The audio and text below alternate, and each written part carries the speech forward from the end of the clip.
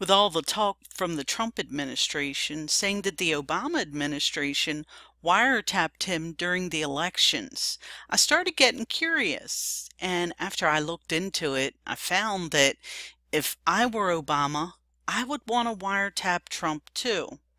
And let's find out why. The whole thing basically revolves around Paul Manafort. You see, Paul Manafort moved into Trump Towers around 2005 2006, mid 2000s. I believe he still lives there today, if I'm not mistaken.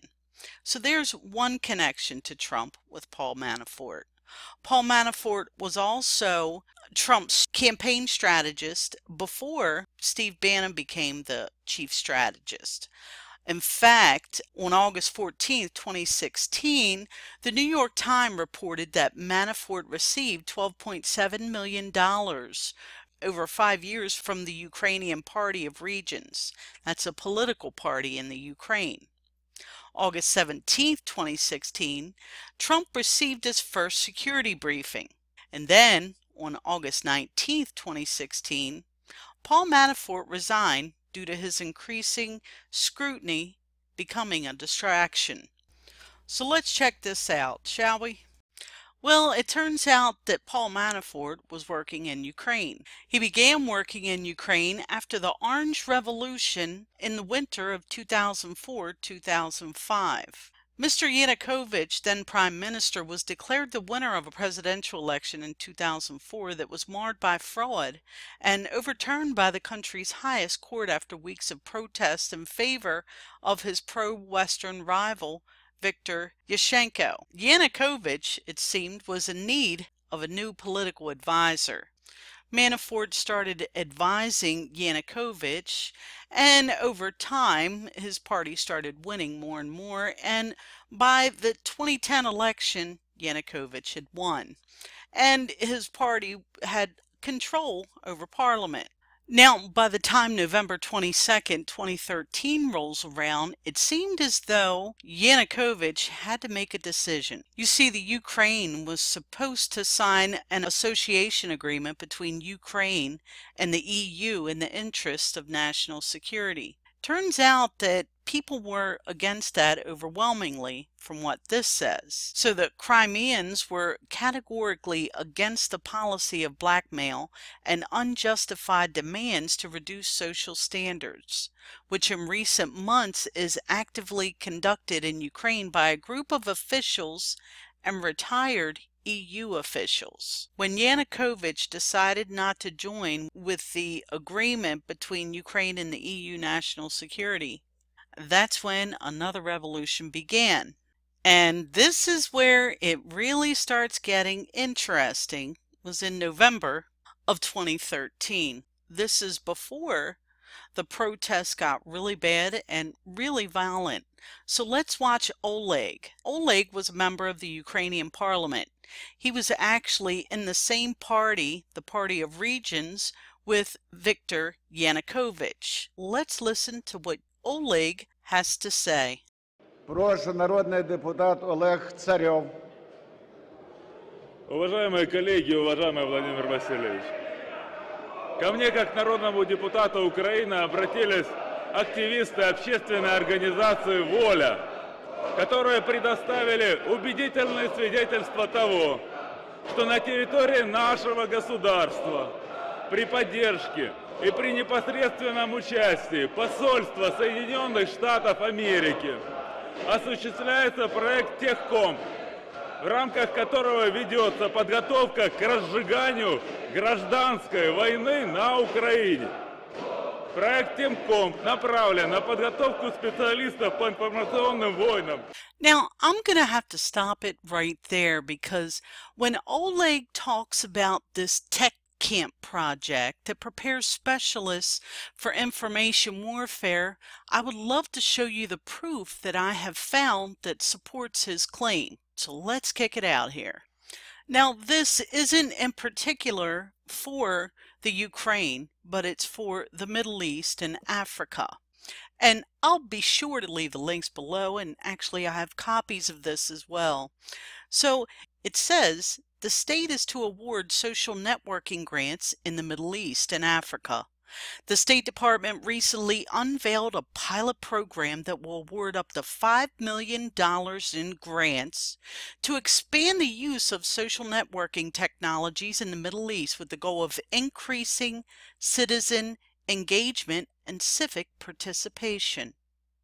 And this is from October the 9th, 2009. Now, I know this is off topic, but let's check and see when the Arab Spring begun? Well, in February 16th of 2011, from northern Africa to the Persian Gulf, governments appeared to flounder over just how to outrun mostly peaceful movements spreading erratically like lava, erupting from a volcano with no predictable end. Hmm.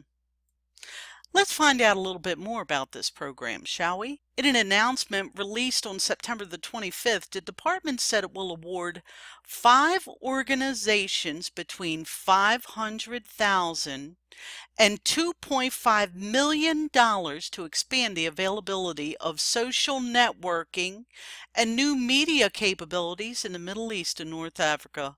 The program is sponsored by the Middle East Partnership Initiative, part of the Bureau of Near Eastern Affairs at the State Department.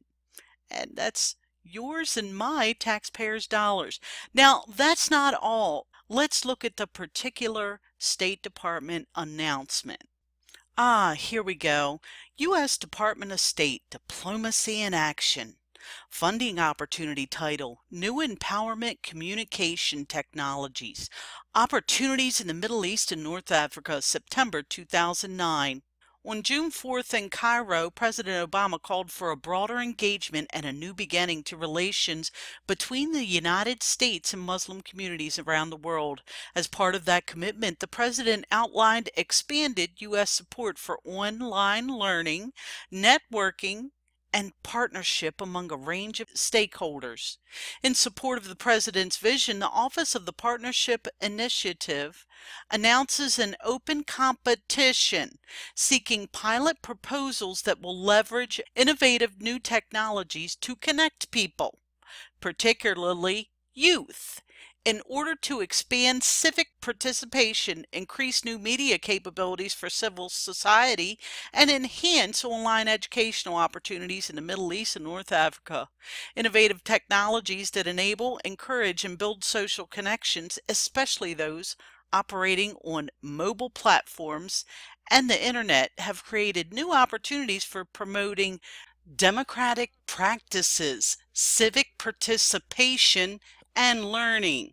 These new technologies offer means to effectively engage youth and difficult to reach or previously unengaged populations. NEA seeks implementers to educate, train, organize, and empower audiences through technologies such as, but not limited to, social networking, digital video conferencing, interactive online learning, widgets, wiki functions, mobile applications, and blogging. These efforts should promote civic and political participation. This is funded via our taxpayers' dollars. And let's see what it did. и дискредитации государственных институтов современных медиа, потенциальных революционеров для организации протестных действий, свержения государственного режима. Проект находится под патронатом и кураторством посла Соединенных Штатов в Украине Джеффри Пайета. Пообщавшись с активистами организации «Воля», я выяснил, что некоторым из них под видом специалистам по IT-технологиям удалось попасть на мероприятия, которые проходили в техкомпе. К их удивлению, под видом обучения особенностям использования современных медиа Американские инструкторы рассказывали об использовании социальных сетей интернет-технологий для целенаправленного влияния на общественное мнение, активизации протестного потенциала целью организации силовых акций на территории Украины, радикализации и борьбы за власть. В качестве примеров американские инструкторы проводили примеры использования социальных сетей для организации и управления уличными акциями в Египте, Тунисе, Ливии. Выпускники техкомпов сейчас активно проводят свои семинары по территории Украины. Всего было проведено 5 мероприятий, обучено около 300 человек, которые сегодня работают по всей Украине. Последняя конференция Техком состоялась 14-15 ноября прямо в Киеве, прямо на территории посольства Соединенных Штатов Америки. Вы мне скажите, где еще, в какой стране мира неправительственная организация будет работать и проводить свои мероприятия прямо на территории посольства Соединенных Штатов? Это неуважение к государству Украины, к народу Украины. Oleg has more to say as well. I got my hands on some shots of a Lufthansa airplane delivering diplomatic mail for the U.S. Embassy in Ukraine. They show us a car with U.S. diplomatic license plates and heavy-built guys getting out of it. But there wasn't just an embassy car. There was also an armored truck for transporting cash. Part of the documents is loaded into the embassy car, and huge bags go into the armored truck. If there's money in these trucks, what does the U.S. Embassy need it for? Victoria Nuland said that the USA had spent $5 billion on democracy in Ukraine. But we don't know what this money was spent on. On organizing the Orange Revolution? On setting up this revolution? revolution, on concocting Molotov cocktails, or on some anti-AIDS programs. Maidan needs money. It's a huge enterprise where you have to pay for food, heating, propaganda materials, and so on. Look at the combatants' equipment. They all have bats. They're all wearing uniforms. Now, that was RT, and my propaganda machine tells me that RT is a propaganda machine. So we'll listen to our propaganda machine and see what they say about what happened in Ukraine.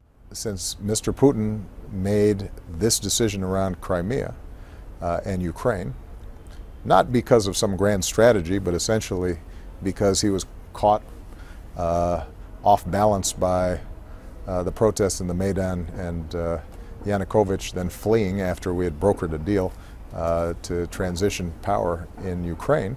Uh, since that time, And let's not forget about that secret conversation between Victoria Nuland and the American ambassador to the Ukraine, talking about who they are going to put in as the puppet government. And they decided that they would put in Yats. Well, Yats is out due to an overwhelming no confidence vote. So I'm sure that Paul Manafort knows a lot more than what I've just showed you here about what's going on with Ukraine because the party that was targeted in Ukraine by the so-called protesters is the party that Manafort was affiliated with.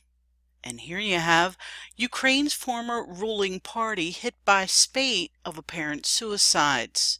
Four members of Viktor Yanukovych's Party of Regions have died within weeks as investigations into old regime officials mount up. And look at what happened in 2014 to Oleg when he tried to run for president. Mikhailo Chechetov wrote a note. He said he had no moral strength to live and thank people for their support. Then he stepped out of a window of his 17th floor apartment, leaving his slippers behind for his wife to find later. Chechetov was once a senior member of Ukraine's Party of Regions, which had a strong grip on power until the revolution a year ago.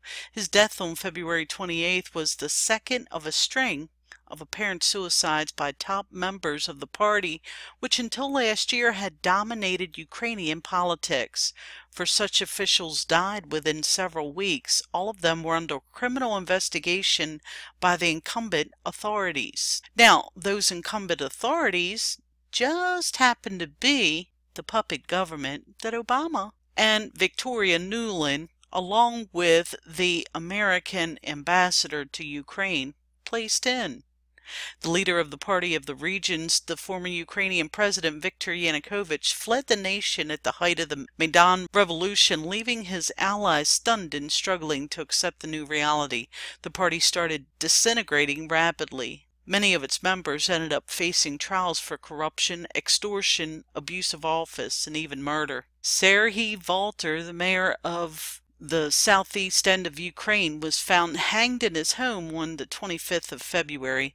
Prosecutors asked for 14 years in prison for him. He was extorting from business and was likely to get a guilty verdict. A former MP and top manager of a brewery shot himself in his home in a suburb of Kiev on March the 9th. Just three days later, another person which was a former governor in the southeast of Ukraine, was also found shot in his home. And it looks as though Yanukovych's younger son also died around that time. He was driving and fell through the ice on a lake in Siberia. Anyway, you get an idea of what's going on there. And with Paul Manafort living in Trump Tower, I'm sure that he's tapped. I'm sure that since he's in kind of the limelight, they want to keep Manafort out of the limelight in case they need to get rid of him, in case he knows something that the rest of these people know. Trump may know something that the rest of these people know. Who, who knows? But this is very interesting. And here's something else that's extremely interesting that may have Obama following Trump to see what he knows. And that is, after Trump was elected president, he met with Tulsi Gabbard on November the 21st, 2016. After the meeting, Gabbard vowed to work with Trump, and that was the same day.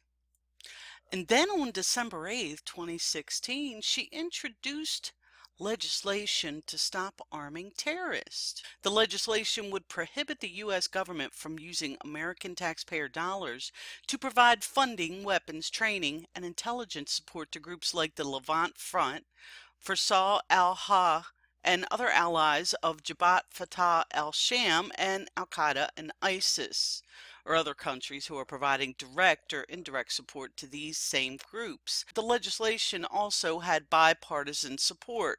It was then formally introduced in the House on January 23, 2017.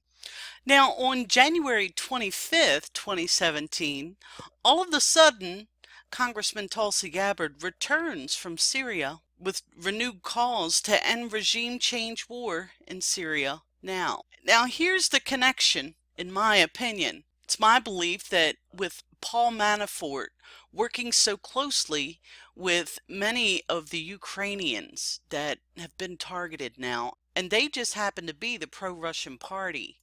I believe that Russia may have been the go between in order for Tulsi Gabbard to meet with Bashar al Assad.